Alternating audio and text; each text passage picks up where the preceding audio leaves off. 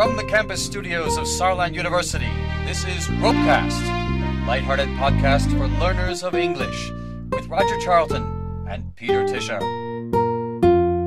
Hi, listeners, and welcome to another episode of Ropecast, the podcast for learners of English. I'm Peter Tischer. And I'm Roger Charlton. Hi, Roger. Hello, Peter. Peter, um, I've been thinking quite a bit about the fact that you went to school in the United States, and there's I, I know so little about schooling over there. I remember you telling us about the Pledge of Allegiance. Yeah, I yeah, think- we did that a, a few episodes back. But I'm sure there are lots of other things that um, you could fill me in on. Uh huh. Well, I could try and say a few things that struck me and still strike me as very different from German schools. Perhaps British schools as well. Ah, well, we'll see that. Um, one thing, um, right at the start is the concept of a homeroom. Yeah. When you start school, you go to one room, your Ah, yes. class's Yeah. room, Yeah. but that is only for administrative reasons. So the teacher will tell you, your homeroom teacher will tell you which classes are not going to take place, um, talk about an upcoming excursion or teachers who are missing or disciplinary measures Right. or those things. But he will not teach you No. and you can sort of you know get your act together and you know um, do maybe a little bit of homework still because you spend a little bit of time there and then you move around the school Yeah. to the different teacher rooms Well, it's similar in Britain. You'd have your your your own form, the form teacher, and the, you go through the register first thing to Mhm. make sure everybody's there, or Mhm. find out who is missing, okay and then you'd move on. okay but do you have actually teachers that don't teach you Um, your form teacher you? would always teach you one subject or other, I think. because i remember i had a homeroom teacher who never taught me Ah, Eh, well he taught me something i guess but not a real subject He was only there to take care of the homeroom. So that person was my homeroom teacher. I knew her, and if I had a huge problem, I had to report to her, whatever, or was was advised to report that to her. But that was all. She never taught me any science or English or, or French or whatever, or math for that matter. So that's a whole different concept. You know, you have this home, sort of, in school. And uh, another thing, speaking of rooms, um, what we had was a study hall, which was a part of the library actually Yeah. that we had, where you could go and were supposed to go and do your homework or your assignments right in there. hmm. So that's what's called a study hall. I don't think any German schools have that. I doubt it. A learning room, Lernraum. Sometimes you have that, but I think that's a place that nobody ever goes.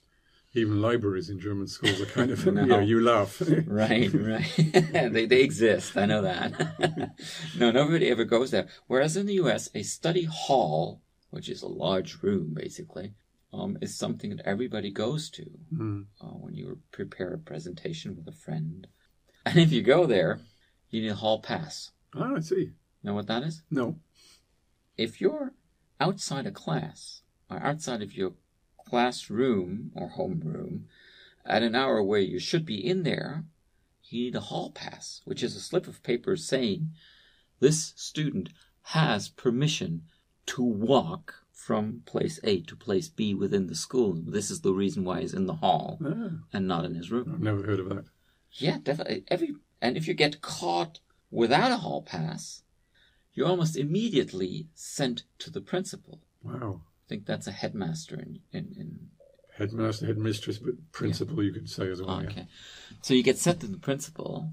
Usually, you sit outside his office and wait until the secretary calls you in, and uh, then the principal would tell you how to behave, how to act correctly in that school. Mm. And if you get caught too often, you get suspended. Oh, so you're actually excluded from the class. Yes, you're excluded from class. Uh, in the worst type of suspension, you are not permitted to enter school. You're not permitted on the premises. And the thing is, I mean, that does exist, I believe, in Germany as well, but it is extremely common in the United States. in the United States. Yeah. It's it's so you know. Well, fortunately, I was never suspended, but I know lots and lots and lots and lots of people who were suspended, who got a suspension. I, I even looked that up once. Out of roughly 50 million students in, in public schools in the U.S., about 7 million get suspended in a school year. that could be just for an hour or two. Or... It can be just for an hour. It can also be an in school suspension. So uh-huh. you get sent to a separate room, Right. Which incidentally might be the study hall as well. um, and that's a supervised room, but you're not allowed in class. But um, very often also, you're not permitted to enter the school building for two, three days. Is there any help for students who get into trouble like this quite frequently? That's another thing that we basically do not have in German schools. That's a school counselor. Uh-huh. That's uh, sometimes it's also called a guidance counselor. And um, well, actually, I have a recording on my uh, smartphone Yeah. that I can show you, where the 2011 School Counselor of the Year, Randy McPherson, says what a guidance counselor Oh, does. right. Want to listen to it? Sure, yeah. School counselors work with students on three domains of development academic, career, and social and personal. We collaborate with teachers, administrators, parents, and community agencies to ensure that we understand student needs and develop programs that support the three domains. School counsellors, I'm not I'm not at all sure what exactly they do. I mean, helping kids who are in trouble, perhaps, but Yeah. Um, well, not only the ones that are in trouble, ah, Actually, I, I did a little re- bit of reading on that recently, but I know also from from uh, from personal experience. Of course, they deal with kids who got into trouble for suspension, but they also advise you on a career choice if you're nearing the end of this ah. of your school career. yeah, They organize guidance events yeah. or also they are responsible for personal development issues sometimes. So you can go and see them. I don't know if you have trouble with your parents. Of course, he will not replace a full blown psychotherapy, but more often than not, he'll orient you in some direction. Mhm.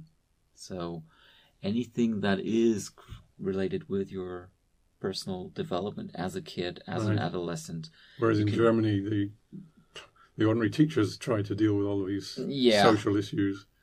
And most of the time, they'll just shrug their shoulders. And in So, Britain, it's certainly a big part of being a teacher these days to yeah, try to cope with all of the extra stuff that happens. I think uh, having a guidance counselor or a school counselor would be a good idea to have in German schools. Well, we certainly have um, careers guidance in British schools, but that's separate. Yeah, that we have that too. That's separate. But here, it's really you go to an office, you know where the guy or the lady sits, and uh, they will help you maybe choose your your university orientation. Well, that was fascinating. I had no idea about some of this. Uh, glad I can still teach you a few things. okay, let's call it a day then. Let's do that. Yes. Okay, bye bye for now. Goodbye. You've been listening to Ropecast, brought to you by Saarland University, featuring Roger Charlton and Peter Tischer. Tune in for the next edifying episode on your podcast dial.